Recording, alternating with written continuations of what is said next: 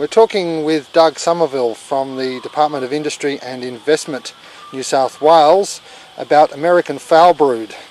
So now we're aware that we've uh, got American foul brood in our system, in our apiary, it's important to have a management strategy. It's important to have a management strategy for foul brood even if you haven't got American foul brood in the system. One of those uh, best management practices in the bee industry or keeping bees is to regularly inspect hives. So inspect every hive you own in the spring and the autumn and look for disease symptoms, look for failing queens uh, and just general, get a, a, general health card report for each of the hives. Um, also good practice at any other time of the year, in particularly spring, summer and autumn, that if uh, we've got a, a, colony that's not performing, so we might have three or four or 500 colonies. Going an apiary of 105 and not um, up to scratch in relation to producing honey. Ask the question why. They really need a brood inspection to find out why. Is it a queen or is it disease?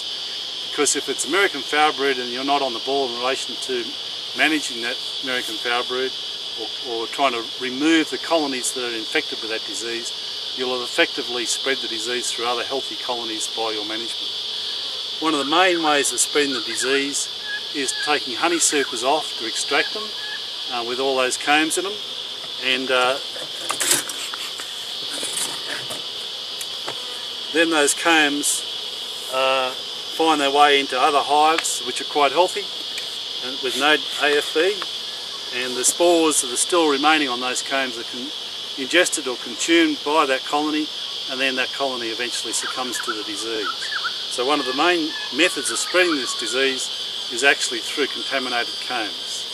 So you're managing the disease, once you're aware of it, uh, it, you really do need to be conscious of the disease status in each hive, particularly ones that are not performing, and uh, inspect hives on a, on a fairly regular basis.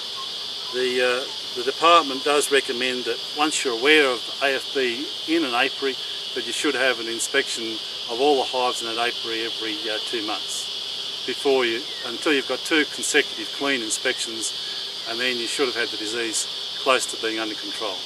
How do you go about eliminating it though, getting the disease out of, of the hives? Understanding the risk factors associated with the disease, on what might spread the disease, uh, it's important. So as I said, in relation to uh, once you have disease in the system, it's important not to spread contaminated equipment around the place. So just because the brood down here's got the disease, and you can't see disease in this top box, doesn't mean there's not disease up here. The, uh, the spore forming stage of the disease uh, can last for decades and decades, and it's very difficult to diagnose. So you've got to assume that the disease is more or less in everything in an apiary that has American foulbrood and be cautious of how you uh, move that material around the apiary. Initially, this was a healthy hive, how we would get the disease uh, would be from this colony robbing out a disease source somewhere else. So one of the other hives out of our management control might be two kilometres away or a, a feral colony somewhere dies of the disease and or someone's exposing honey to your bees having access and robbing that honey, then they could bring that disease back to the hive. That's how the disease is initially contracted by the hive. So invariably it's the very strong colonies that first get the disease, not the weak colonies. So are there any systems that I can implement to prevent the disease's spread? The, the systems that uh, a lot of commercial beekeepers these uh, have adopted is a barrier system. It, barrier system concepts are very common in intensive livestock production systems. Uh, if you've got a chook farm, you don't usually like the entry of other chook farmers onto your premises because they could be bringing in pest diseases onto their farm, onto your farm. Similar situation with American foul brood. If you've got several apiaries and you're commercial, then moving your equipment or the sticky combs and extracted boxes from uh, one apiary to another effectively spreading, potentially spreading disease material from one apiary to another. So a lot of beekeepers have adopted a barrier system where the equipment associated with one apiary stays with that particular one apiary. So the boxes are extracted If they're not used, needed back out in the, in the field straight away, they're stored, but those boxes essentially belong back to that apiary. So there's no interchange between the apiaries. Some individuals have actually adopted a, a pallet system or an individual hive system, but each one of those systems take a lot of record keeping and a, and a lot of extra material which then has problems with uh, storage with wax moth particularly. So in eliminating it, do you really have to kill the hives? So eliminating AFB out of the system, you, the hive will eventually succumb to the disease, so you've got to step in and actually kill the colony. What you do with the components, whether you irradiate or burn or wax dip, is your choice. You need to do that in consultation with the department, with the apiary inspectors. Uh, when you notify them of having the disease, an inspector should be in contact with you. If not, contact them and uh, under their instructions you'll either take one of those courses of action of irradiating, burning or hot wax dipping the material.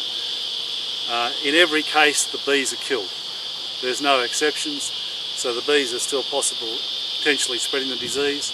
What are the risks then? The risk in relation to disease, spreading the disease, are several. Besides your bees are robbing an initial source of infection from somewhere else, that's how you might get the disease into the system. Uh, once you've got contaminated hives in the system, by transferring the combs from hive to hive, moving equipment around between hives or between apiaries, will effectively spread those spores and then cause more hives to be infected in your system. Uh, Honey and pollen should never be fed back to bees because they are a source of spreading the disease. There are a lot of other reasons why honey shouldn't be fed back to bees anyway. Sugar syrup bees will perform a lot more better on sugar syrup than they will on honey. And as honey gets older and dark, it actually becomes more toxic or becomes toxic to bees. So feeding honey to bees is not a good practice. Um, they're probably the most significant factors in spreading the disease. Things like uh, beeswax foundation is extremely low risk to, non, to a non-event. Uh, when you buy your queen bee from another beekeeper, the number of bees in there, even if it came out of the diseased hive, is not going to cause you an infection. There's been a significant amount of work done on that subject. The queen candy that comes in the queen cage uh, should have been made up with irradiated uh, honey, so that won't be an issue as far as disease goes. So when we're introducing a queen bee into a hive from another apiary somewhere else, it doesn't usually present a risk in uh, the majority of cases. So by handling the bees, if I get my hands a bit sticky, good reason to wash them, but the hive tool, the jacket, the smoker, are extremely low risk in spreading the disease. The main way of spreading the disease is through contaminated equipment, first, second and third, and things like honey uh, being robbed and uh, feeding back honey to a hive is also high risk in relation to spreading the disease.